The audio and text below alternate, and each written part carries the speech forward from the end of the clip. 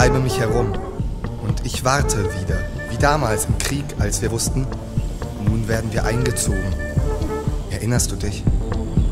Ich fliege dort oben im Aeroplan und sehe auf mich hinunter.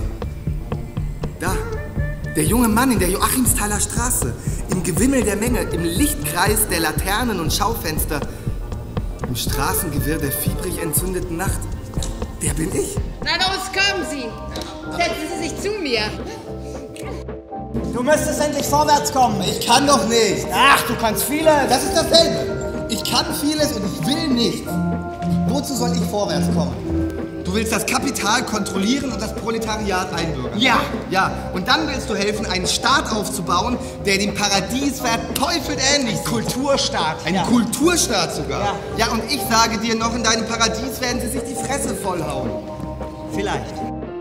Im Osten residiert das Verbrechen, im Zentrum die Gaunerei, im Westen das Elend, im Norden die Unzucht und in allen Himmelsrichtungen schwebt der Untergang.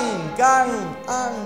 Die Kündigung ist eine bedauerliche Folge der vom Aufsichtsrat beschlossenen Senkung des Reklamebudgets. Man kommt nur aus dem Dreck heraus, wenn man sich dreckig macht. Und wir wollen doch heraus. Ich schreibe wir. Verstehst du mich? Ich gehe jetzt von dir fort, um mit dir zusammen zu bleiben. Wirst du mich lieber halten? Wer hat behauptet, die Arbeit sei von mir abgelehnt worden? Ihr Assistent, Weckerlin! Ich saß in einem großen Wartesaal und der hieß Europa.